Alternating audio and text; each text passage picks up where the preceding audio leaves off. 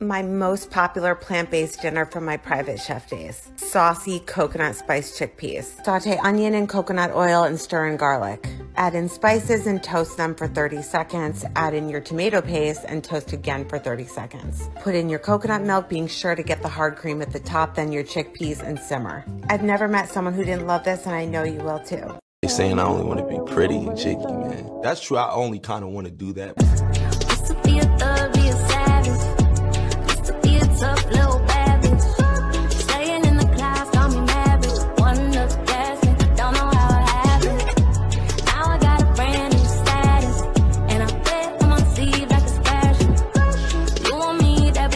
I seriously love one pot dishes. They're so quick and easy and there's less washing up at the end. So that's why today's recipe is this one pot chickpea and aubergine stew. First, you're going to fry onions and carrots, then add in aubergine and then add in garlic. Once that's all nice and golden, you're going to add chopped tomatoes, olives, chickpeas, tahini, soy sauce, cumin, smoked paprika and oregano. You're going to simmer that partially covered for about 10 minutes, add in some spinach and then serve with some fresh crusty bread Vegan chickpea salad sandwiches are an easy, delicious, and customizable lunch. Mash two cans of chickpeas, a pastry cutter, or potato masher both work well. Now add the mix-ins. I'm using celery, toasted walnuts, and fresh tarragon. Next comes lemon juice, a binder like this cashew cream, plus salt and pepper. There's so much evidence out there that our gut bacteria plays a huge role in our overall health. So today, I wanted to share with you this gut-loving cauliflower and chickpea curry. So start by roasting a whole head of cauliflower with olive oil, smoked paprika, garlic and salt and pepper. Then saute onions and garlic until golden, add in the spices and toast them for about a minute before adding in chopped tomatoes and coconut milk.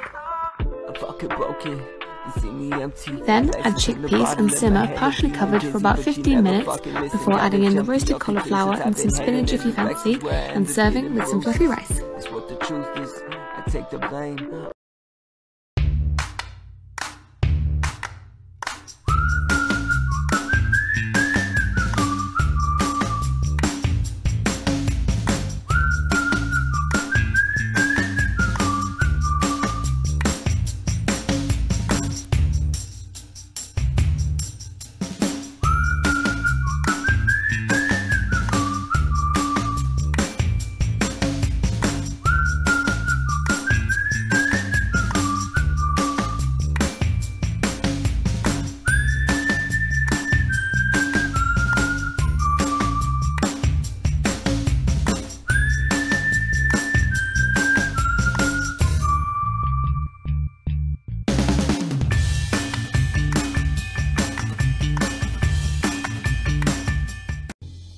Today on Meatless Monday, we're making chickpea noodle soup. Slice up your veggies.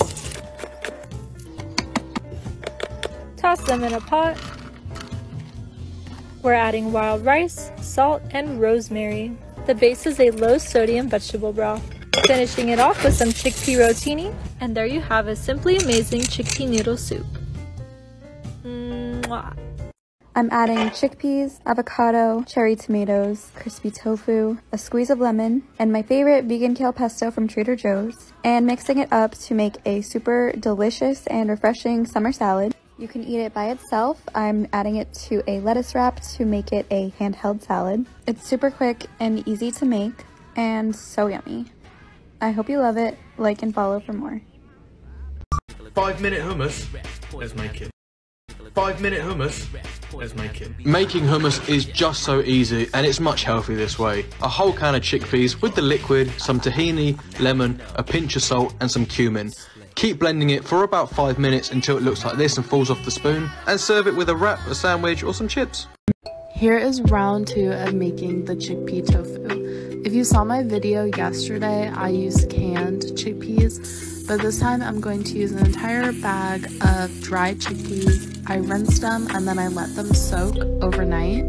The next morning, I poured them all into my blender and almost covered them with oat milk. Then I blended on high until I got this consistency. Once I got that consistency, I got my cheesecloth and I put that over the bowl and I poured everything in. This is the fun part. You have to squeeze all the liquid out. Once you get all the liquid, you heat it on low until you get it nice and thick like this. Once it's nice and thick, you could put it in a Pyrex with some parchment paper and refrigerate it for a couple hours, and then you have some tofu. You could bake it, fry it, season it however you want.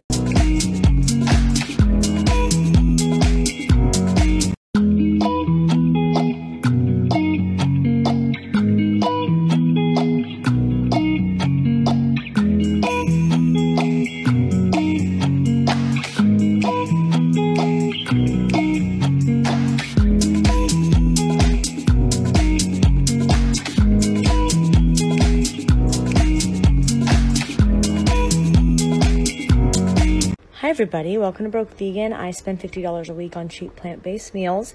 And today I'm making very, very easy, very quick chickpea buffalo taquitos. Take a can of chickpeas, garbanzo beans, whatever, add Frank's red hot sauce, add whatever plain vegan yogurt or plain vegan sour cream you keep on deck, take a celery, cut it up, add it to the mixture.